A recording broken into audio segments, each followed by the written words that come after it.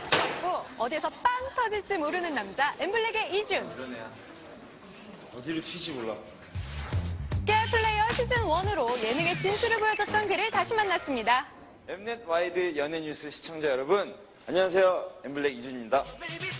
그가 홀로 얼굴을 비친 이유 화끈한 body를 뽐낼 속옷 모델로 발탁됐기 때문인데요. 데뷔와 동시에 제 몸을 공개했어요. 꾸준히 보여드리고 있어요, 무대에서. 그렇기 때문에 그런 마일리지가 좀 쌓여서 뽑아주시지 않았나 이렇게 생각합니다. 발랄한 약간 상큼하고 스위트한 그런 컨셉도 있고, 섹시한 컨셉도 있고, 여러 가지 버전이 다 있어요. 그 여러 버전 중 먼저 촬영에 들어간 건 커플 버전. 은밀하면서도 다정한 분위기를 연출했는데요. 이게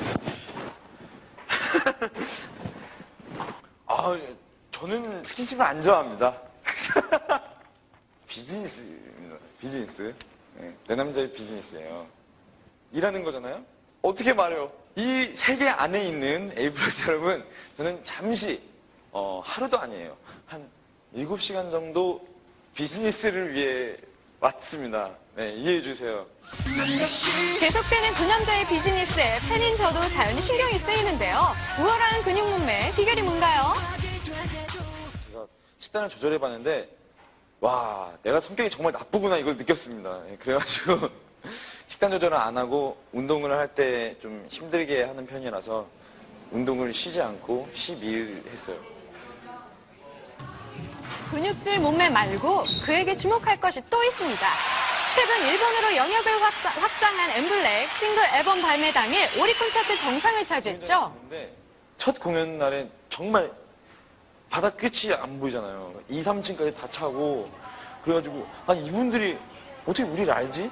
막 이런 생각이 들 정도로 너무 감사하고 되게 감동을 많이 받았어요. 제가 생각했던 것보다 정말 100배 이상으로 반응이 온 것 같아요.